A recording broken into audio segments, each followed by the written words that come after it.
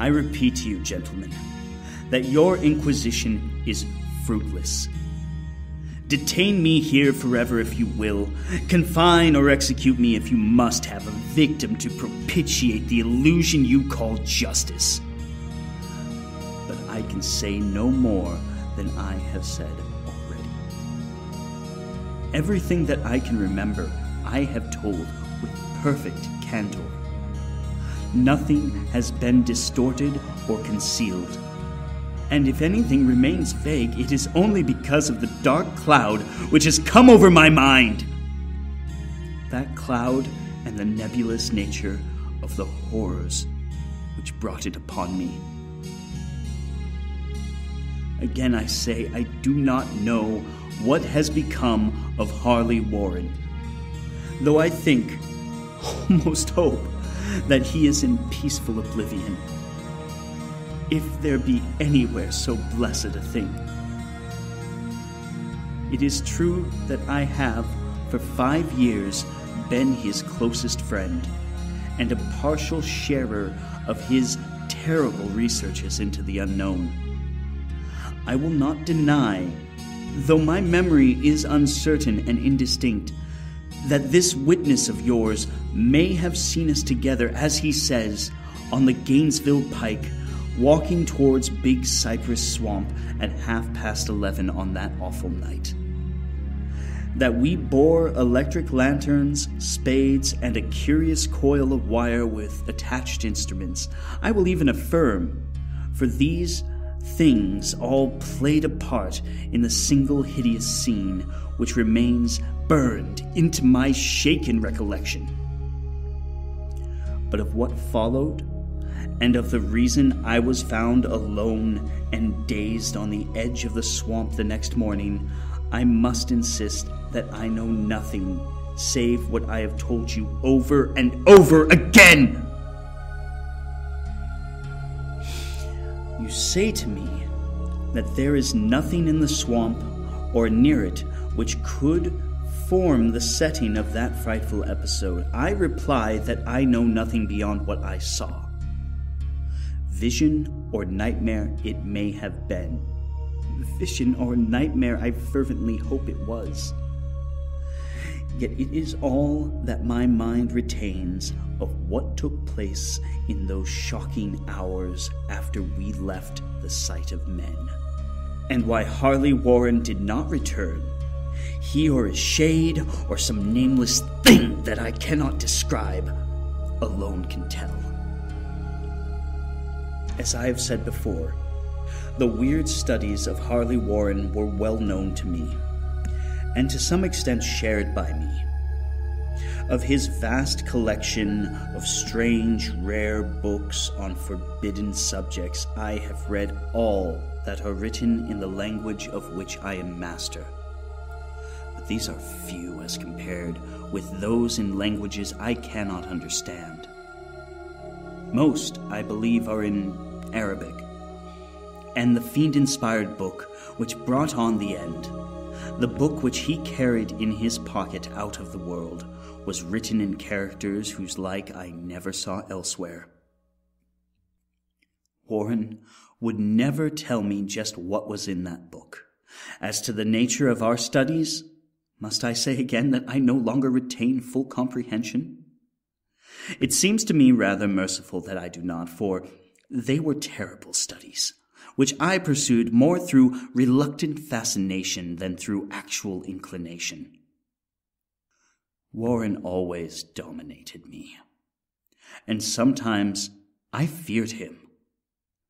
I remember how I shuddered at his facial expression on the night before the awful happening when he talked so incessantly of his theory why certain corpses never decay, but rest firm and fat in their tombs for a thousand years.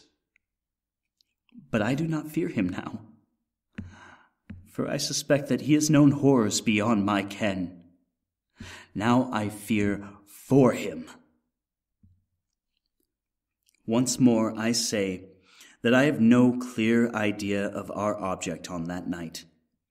Certainly, It had much to do with something in the book which Warren carried with him. That ancient book in undecipherable characters which had come to him from India a month before. But I swear I do not know what it was that we expected to find. Your witness says he saw us at half past eleven on the Gainesville Pike, heading for Big Cypress Swamp. This is probably true, but I have no distinct memory of it. The picture seared into my soul is of one scene only, and the hour must have been long after midnight, for a waning crescent moon was high in the vaporous heavens. The place was an ancient cemetery, so ancient that I trembled at the manifold signs of immemorial years. It was in a deep, damp hollow overgrown with rank grass, moss, and curious creeping weeds, and filled with a vague stench which my idle fancy associated absurdly with rotting stone. On every hand were the signs of neglect and decrepitude, and I seemed haunted by the notion that Warren and I were the first living creatures to invade the lethal silence of centuries. Over the valley's rim, a wan, waning crescent moon peered through the noisome vapors that seemed to emanate from unheard of catacombs and by its feeble wavering beams I could distinguish a repellent array of antique slabs, urns, cenotaphs, and mausoleum facades, all crumbling, moss grown, and moisture stained, and partially concealed by the gross luxuries of the unhealthy vegetation. My first vivid impression of my own presence in this terrible necropolis concerns the act of pausing with Warren before a certain half obliterated sepulchre, and of throwing down some burdens which we seem to have been carrying. I now observed that I had with me an electric lantern and two spades, whilst my companion was supplied with a similar lantern and a portable telephone outfit. No word was uttered, for the spot and the task seemed known to us. And without delay, we seized our spades and commenced to clear away the grass, weeds, and drifted earth from the flat, archaic mortuary. After uncovering the entire surface, which consisted of three immense granite slabs, we stepped back some distance to survey the charnel scene, and Warren appeared to make some mental calculations. Then he returned to the sepulchre, and using his spade as a lever, sought to pry up the slab lying nearest to a stony ruin which may have been a monument in its day. He did not succeed, and motioned to me to come to his assistance. Finally, our combined strength loosened the stone, which we raised and tipped to one side.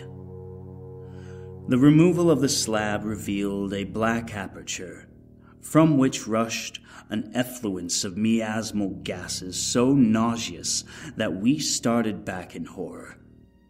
After an interval, however, we approached the pit again and found the exhalations less unbearable. Our lanterns disclosed the top of a flight of stone steps dripping with some detestable ichor of the inner earth, and bordered by moist walls encrusted with nitre. And now, for the first time, my memory records verbal discourse. Warren addressing me at length in his mellow tenor voice, a voice singularly unperturbed by our awesome surroundings. I'm sorry to have to ask you to stay on the surface, he said, but it would be a crime to let anyone with your frail nerves go down there. You can't imagine, even from what you have read and from what I have told you, the things I shall have to see and do. It's fiendish work, Carter. And I doubt if any man without ironclad sensibilities could ever see it through and come up alive and sane. I don't wish to offend you, and heaven knows I'd be glad enough to have you with me, but the responsibility is in a certain sense mine, and I couldn't drag a bundle of nerves like you down to probable death or madness. I tell you, you can't imagine what the thing is really like. But I promise to keep you informed over the telephone of every move. You see, I've enough wire here to reach to the center of the earth and back. I can still hear. In memory, those coolly spoken words, and I can still remember my remonstrances. I seemed desperately anxious to accompany my friend into those sepulchral depths, yet he proved inflexibly obdurate. At one time he threatened to abandon the expedition if I remained insistent, a threat which proved effective since he alone held the key to the thing. All this I can remember, though I no longer know what manner of thing he sought. After he had secured my reluctant acquiescence in his design, Warren picked up the reel of wire and adjusted the instruments. At his nod, I took one of the latter and seated myself upon an aged disclosure of gravestone close by the newly uncovered aperture. Then he shook my hand, shouldered the coil of wire, and disappeared within that indescribable ossuary. For a moment I kept sight of the glow of his lantern, and heard the rustle of the wire as he laid it down after him. But the glow soon disappeared abruptly, as if a turn in the stone staircase had been encountered, and the sound died away almost as quickly. I was alone yet bound to the unknown depths by those magical strands whose insulated surface lay green beneath the struggling beams of that waning crescent moon. In the lone silence of that hoary and deserted city of the dead, my mind conceived the most ghastly fantasies and illusions, and the grotesque shrines and monoliths seemed to assume a hideous personality, a half sentience. Amorphous shadows seemed to lurk in the darker recesses of the weed choked hollow, and to flit as in some blasphemous ceremonial procession past the portals of the mouldering tombs in the hillside shadows which could not have been cast by that pallid, peering crescent moon. I constantly consulted my watch by the light of my electric lantern, and listened with feverish anxiety at the receiver of the telephone, but for more than a quarter of an hour heard nothing. Then a faint clicking came from the instrument and I called down to my friend in a tense voice. Apprehensive as I was, I was nevertheless unprepared for the words which came up from the that uncanny vault in accents more alarmed and quivering than any I had heard before from Harley Warren. He who had so calmly left me a little while previously now called from below in a shaky whisper more portentous than the loudest shriek. God, if you could see what I am seeing. I could not answer. Speechless, I could only wait. Then came the frenzied tones again.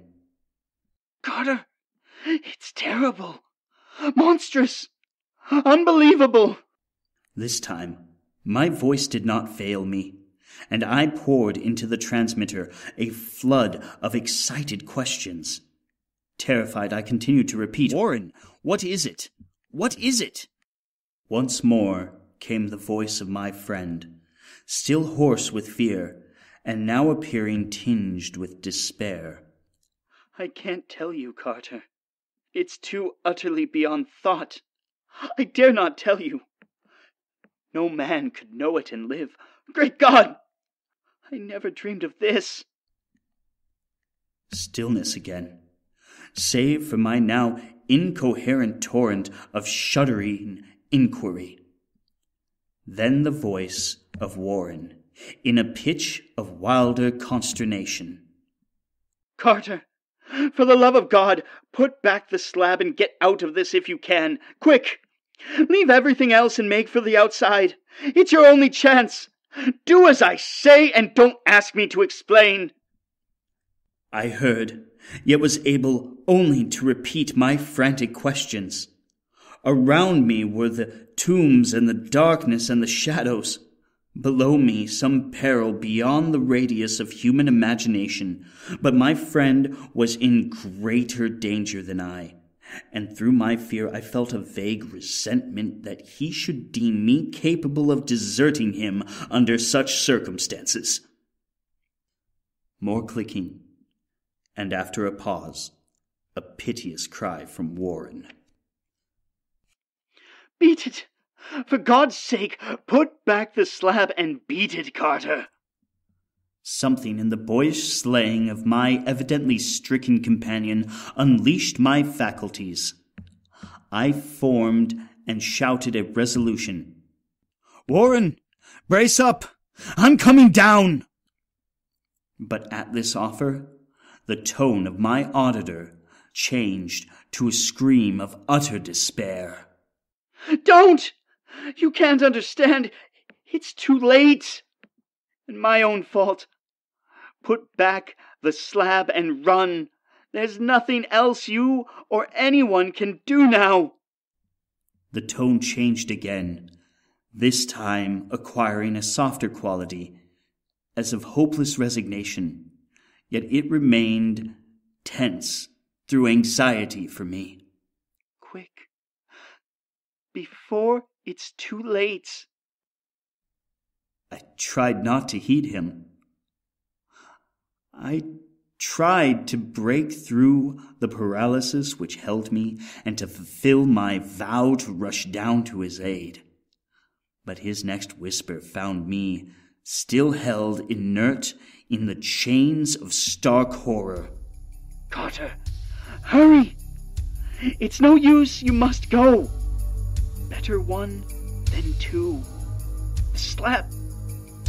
A pause. More clicking. Then the faint voice of Warren. Nearly over now. Don't make it harder. Cover up those damned steps and run for your life. You're losing time. So long, Carter. Won't see you again. Here, Warren's whisper swelled into a cry, a cry that gradually rose to a shriek fraught with all the horror of the ages. Curse these hellish things! Legions! My God! Beat it! Beat it! Beat it! After that, there was silence. I know not how many interminable aeons I sat stupefied, whispering, muttering, calling, screaming into the telephone. Over and over again, through those aeons, I whispered and muttered, called, shouted, and screamed, Warren! Warren, answer me! Are you there? And then there came to me the crowning horror of all the unbelievable, unthinkable, almost unmentionable thing. I have said that aeons seemed to elapse after Warren shrieked forth his last despairing warning, and that only my own cries now broke the hideous silence. But after a while, there was a further clicking in the receiver, and I strained my ears to listen. Again I called down, Warren, are you there? And in answer, heard the thing which has brought this cloud over my mind. I do not try, gentlemen, to account for that thing, that voice, nor can I venture to describe it in detail, since the first words took away my consciousness and created a mental blank which reaches to the time of my awakening in the hospital. Shall I say that the voice was deep, hollow, gelatinous, remote, unearthly, inhuman, disembodied? What shall I say? It was the end of my experience and is the end of my story. I heard it and knew no more heard it as I sat petrified in that unknown cemetery in the hollow amidst the crumbling stones and the falling tombs, the rank vegetation and the miasmal vapors. Heard it well up from the innermost depths of that damnable open sepulchre. As I watched amorphous necrophageous shadows dance beneath an accursed waning moon, and this is what it said. You fool. Ori is dead.